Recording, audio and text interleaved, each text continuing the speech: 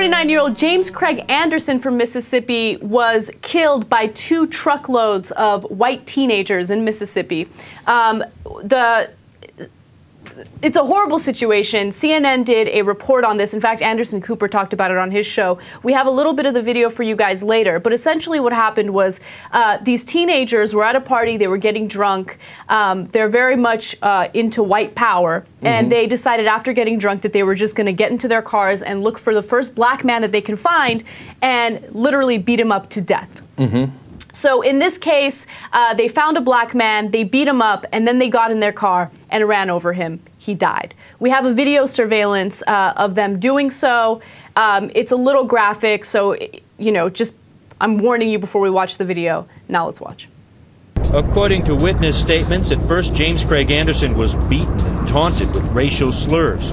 Surveillance video shows white teens going back and forth in what prosecutors say was a continuous beating of the victim. As one of the teens walks back to the cars after beating Anderson, he pumps his fist in the air and shouts, White power, according to a motel security guard. Then some of the teens got in the white SUV and drove away, leaving Anderson beaten and lying on the ground. Deryl Dedmon apparently wasn't through. He had two girls in his truck as he was leaving this parking lot, a big F 250 pickup truck. James Craig Anderson, the man who was beaten almost to a pulp, was stumbling down this curb. That's when police say Deryl Dedmon hit the gas, jumped the curb, and ran right over his victim, smashing him. Okay, so that's a little more detail into what they did, how they did it. Um, so one of the trucks did leave. However, 18-year-old um, Deryl Dedmon stayed uh, because he wanted to finish the job. Mm-hmm. So now let's watch and see what he did. This is what was caught on that tape, obtained exclusively by CNN. We warn you, it is disturbing. A video capturing what prosecutor Robert Shuler Smith says is pure racial hatred, and murder. Here you see James Craig Anderson in a hotel parking lot as he first comes into view in the lower right corner of the screen. This is after he was beaten, according to law enforcement officials. He staggers into the headlights of Mr. Dedmon's truck. The truck backs up and surges forward suddenly, running right over the defenseless man. Take a look again as the approaching headlights glow on Anderson's shirt, then disappears under the truck. That's hideous. So, two thoughts about this. Uh, now, we don't believe in the death penalty, so I believe those kids should go to prison for life, all of them. Okay, I think it's a no-brainer. So now people will uh, bring up this is a race-related crime, hate crime, etc. Well, obviously it is. They yelled mm-hmm. white power, etc.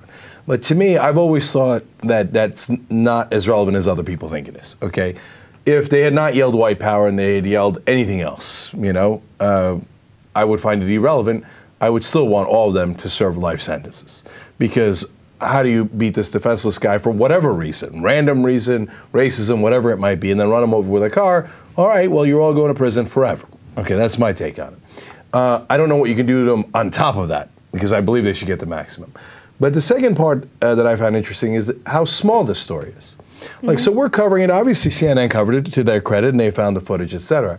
I feel, and I might be wrong about this, but that if a bunch of black teenagers uh, went and found a white guy and then, you know, murdered him like this and beat him up to a pulp and ran him over their car, that it would be the largest story in the country all over the place. Can you imagine if a group of Arab kids did it? Oh, or or uh, undocumented immigrants. If Mexicans had crossed the border and a bunch of them had gone and killed a, a white guy in Arizona like this and then run him over, would that not be the largest story in the country?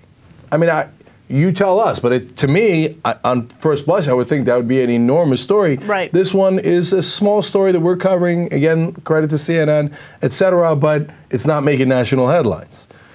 Look, our country has a huge race issue that I think is underestimated. I, I, think that people truly believe that racism doesn't exist anymore, especially in the South. People believe that, hey, if you're fl- flying the Confederate flag, it doesn't mean that you're racist. You know, people have these crazy ideas that we've completely moved on from it. And look, I grew up with in a generation, and especially in the in Los Angeles, where it's completely diverse. I haven't had to deal with any type of um, racism. I haven't seen racism personally, but I, I wouldn't deny the fact that we still have have a huge race problem. And I think uh, the, re- the fact that we're kind of turning our backs to it and pretending like it doesn't exist, that's the most negative part about it because we can't fix it if we don't acknowledge it.